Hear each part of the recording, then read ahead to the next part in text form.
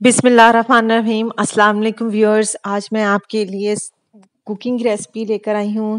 आज मैंने सोचा आपसे लंच टाइम की और लंच बॉक्स की बच्चों के लिए या ब्रेकफास्ट के लिए यूज़ करने के लिए रेसिपी एक छोटी सी डिश शेयर करती हूँ। किस तरह इसके इजी वे में पक सकती है इजीली तैयार हो सकती है, बहुत जल्दी से फटाफट तैयार होने वाली रेसिपी है।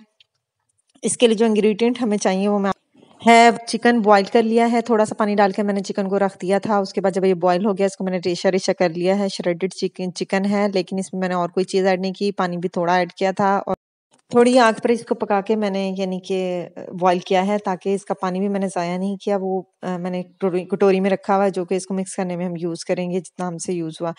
ये मैंने दो प्याज दिन मैंने साइज़ के लिए थे और उन्हें ब्रिक ब्रिक चॉप कर लिया। ये सारा मैंने हैंड से चॉप किया है और ये शिमला मिर्च है इसे भी मैंने हैंड से चॉप कर लिया है। बिल्कुल बारीक बारीक की और ये कैरेट है यानी गाजर है और इसको भी मैंने बहुत बारीक बारीक हाथ से चॉप किया है। आप चाहें तो मशीन या इलेक्ट्रिक चॉपर भी यूज़ कर सकते हैं, लेकिन मुझे हाथ का ज़्यादा पसंद है। तो मैं हाथ से करती हूँ। ये दो टमाटर हैं, जो बड़े साइज़ के, उनको भी मैंने चॉप कर लिया है।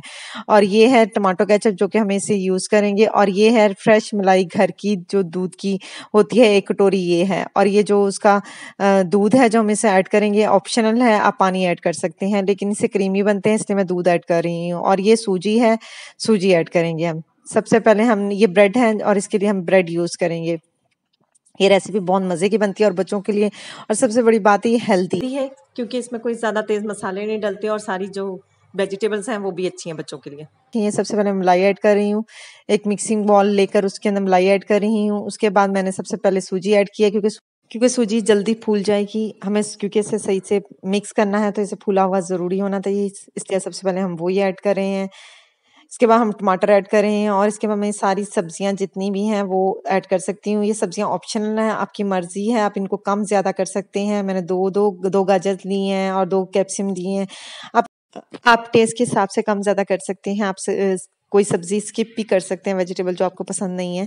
ये सब चीज़ें मैंने डाली हैं चिकन भी ऐड कर लिया है और अब मैं अच्छे से सारी चीज़ों को मिक्स करूँगी। Onion chicken and carrot capsicum सब कुछ डाल लिया है और सब कुछ ऐड कर रही हूँ।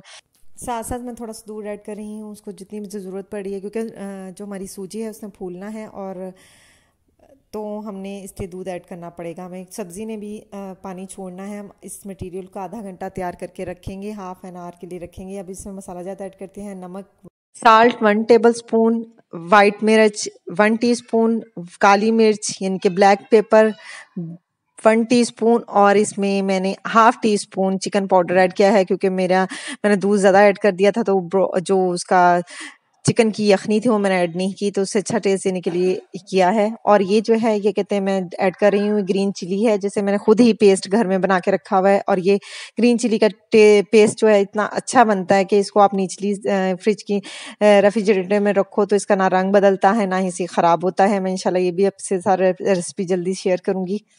सबसे पहले हमने ब्रेड लेना है। ब्रेड पे टमाटो केचप अच्छे से इवनली लगा लेनी है। ज़्यादा टमाटो केचप नहीं लगानी लाइट लेयर लगानी है। मैं थोड़ा सा ज़्यादा लगा रही हूँ क्योंकि मेरे बच्चे टमाटो केचप ज़्यादा लाइक करते हैं तो मैं थोड़ा सा लगा रही हूँ। ज़्यादा लेकिन आपने कम लगानी है क्योंकि उससे फिर जब फ्राई करेंगे तो बहुत क्रिस्पी सा आएगा। आपने इसको जस्ट यानी कि तवे पर सेकना है फ्राई नहीं करना है। सॉरी गलती से निकल गया। ये जो हमने पेस्ट बनाया था, उसको ब्रेड पे इवनली मैं स्प्रेड कर रही हूँ। इसको इवनली स्प्रेड करके आपने बहुत ज़्यादा मोटी लेयर नहीं लगानी। नॉर्मल थिक लेयर लगानी है और बिल्कुल लाइट आपने आग रखनी है तवे के नीचे। आपने हल्का सा ग्रीस करना है। अगर आपका नॉन स्टिक का तवा तो ग्रीस करने की ज़रूरत नहीं, मेरा भी नॉन स्टिक का तवा है, लेकिन जस्ट मैंने आपको बताया कैसे ग्रीस करना है, क्योंकि इसमें आपने मलाई ऐड किया तो इसमें ग्रीसिंग करने की ज़रूरत नहीं है तवे को। लेकिन अगर आपने दूसरा तवा सिंपल लोहे का या स्टील का तवा यूज़ कर रहे हैं तो उस पर ग्रीसिंग करने की ज़रूरत पड़ेगी। मेरा दूसरे तो मैंने साथ में दूसरा तवा भी रखा हुआ है, मैं ताकि जल्दी जल्दी पके तो उस पर मैंने ग्रीसिंग की है। इस पर ये नॉन स्टिक का, इस पर मैंने ग्रीसिंग नहीं की। तो इसको फटाफट ऐड करके मैं चीज़ें यानी कि लगा रही हूँ। अब दूसरी साइड पे मैंने टमाटो केचप लगाई है और उसको मैं दोबारा से ही स्प्रेड जो है, पेस्ट जो है, इसको मैं इवनली स्प्रेड कर रही हूँ अच्छे से। हमने दो मिनट तक इस ब्रेड को नहीं हिलाना है। साथ में दूसरे ब्रेड में तैयार कर रही हूँ। हमने नहीं हिलाना। दो मिनट बाद हमने इसको साइड पलटनी है या, या हिलाकर देखना है। नीचे से कि हमारा ये सीख चुका है कि नहीं सीखा।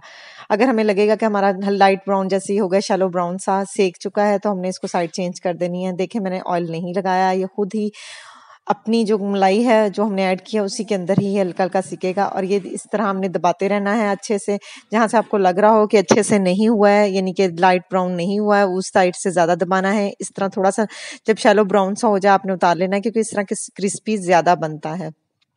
और जो है इसमें आ, मैंने ये देखिए मैंने सेंटर से काट के उसको सैंडविच स्टाइल में दे रही हूँ।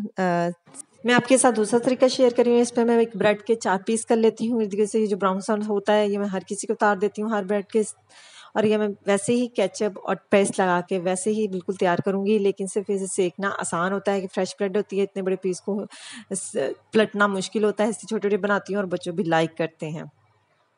मैंने ऑलरेडी तवे पे इस तरह के बना के डाले हुए हैं। अब इनको भी मैं वैसे ही सेक रही हूँ, पका रही हूँ, जैसे कि पहले पकाए हैं। और दूसरी साइड पे भी सेम वैसे ही कर रही हूँ। लेकिन जिन लोगों को केचप इतनी पसंद नहीं है, वो एक साइड पे केचप लगाएँ, दूसरी साइड पे ना लगाएँ। अगर इस पे भी ज़्यादा क्रिस्पी आपको ये पसंद है तो आप सिर्फ़ केचप एक साइड पे लगाएँ, दूसरी साइड पे ना लगाएँ। मैंने आपको पहले भी बताया कि मेरे बच्चे लाइक करते हैं, इसलिए मैं दोनों साइडों पे लगा रही हूँ। और केचप लगानी भी कम है। अगर केचप ज़्यादा लगाएँगे तो हमें ज़्यादा देर सीखना पड़ेगा और क्रिस्पीपन कम आएगा। तो इस चीज़ का ख्याल रखना है आपने। आपने अपने हिसाब से चीज़ें कम या ज़्यादा हर चीज़ कर सकते हैं, अपने टेस्ट के हिसाब से कोई चीज़ ज़्यादा बढ़ा भी सकते हैं, कम भी कर सकते हैं। वो आपकी अपनी मर्ज़ी है, मैंने आपको दोनों तरीके बता दिए हैं कि इस तरह भी पक सकते हैं, वैसे भी पक सकते हैं और इसको अच्छे से दबाते रहना है ताकि इसमें से जो पानी है वो निकल जाए क्रिस्पी पन आए इनमें देखिए, हमारी क्रिस्पी सूजी ब्रेड तैयार हो गए हैं। बहुत डिलीशियस बनते हैं और बहुत हेल्थी स्नैक है। आप बच्चों को लंच बॉक्स में बना के दे सकते हैं क्योंकि इसमें ज़्यादा मिर्च मसाला भी नहीं डलता। बच्चों के लिए बहुत अच्छा है। वेजिटेबल्स यूज़ होती हैं फ्रेश वेजिटेबल्स यूज़ होती हैं और बहुत मज़े के बनते हैं। आप ज़रूर ट्राई कीजिएगा। आपको इंशाल्लाह ये रेसिपी बहुत पसंद आएगी। ये देखने में बहुत कलरफुल से लगते हैं। आपको शायद मैं कैमरे में नहीं दिखा सकती। बच्चे बहुत शौक से इसलिए खाते हैं कि ज़रा कलरफुल से होते हैं, बहुत अच्छे लग रहे होते हैं। तो बच्चे इस वजह से भी खाते हैं और मैं छोटे छोटे पीस तैयार करके देती हूँ उनको। स्पेशली मैं उनके लिए तैयार करती हूँ कि वो शौक से खाते हैं।